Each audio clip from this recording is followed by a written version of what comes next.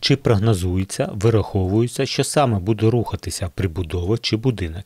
Я до того, що чи є різниця, на якій будівлі залишати неприклеєну частину пінопласту, як ви показували на малюнку. Е, По великому рахунку немає. Тобто, з точки зору конструкцій е, різниці немає. Е, Тут головне інше естетика. Справа у тому, що все ж таки деформаційний шов він буде помітний на фасаді. І якщо ви естет або ви архітектор, ви хочете добитися якоїсь естетики і максимально скрити деформаційний шов, то завдяки тому, що ви можете виконувати рішення, от давайте подивимось з вами оцей малюнок, да?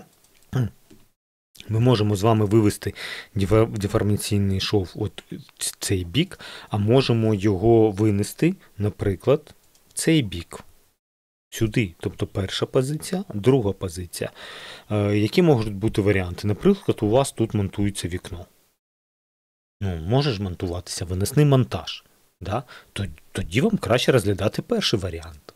Тоді ви можете зробити нормальне кріплення елементів виносного монтажу і не вести деформаційний шов посередині вікна, тому що другий варіант для вас не підходить категорично.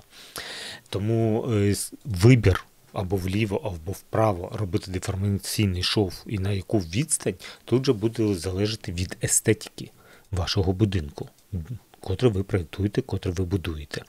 А з точки зору конструкції це не має значення, тому що нам головне забезпечити рух, щоб на фасаді утеплювач не порвало, де не попадя. Все, оце от єдине. Тому естетика.